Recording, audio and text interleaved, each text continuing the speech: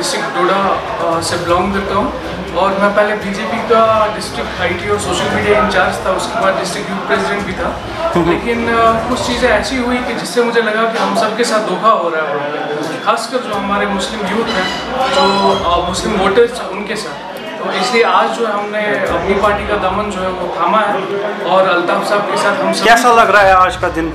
आज के दिन हमें बहुत खुशी हो रही है कि हम एक रीजनल पार्टी और उससे भी बड़ी बात एक सच्ची पार्टी के साथ जुड़ रहे हैं। क्योंकि हम नेशनल पार्टी जितनी भी थी उनके साथ जो है चले हुए हैं उनमें देखा हुआ है कि उनके अंदर लॉबीज में क्या होता है। मुझे जहाँ तक लगता है कि वहाँ पे सिर्फ़ धोखा होता है नेशनलिज्म के नाम पे। हमें यहाँ पे अच्छी रीजनल पार्टीज़ की ज़रूरत है और जिसके लिए हमने आज जो है वो अल्ताफ़ साहब का दामन हाथ थमा हुआ है। और हमें उम्मीद, हमें पूरी उम्मीद है कि आगे जाके हम सबका जो है वो एक ब्राइट फ्यूचर होने वाला है। Thank you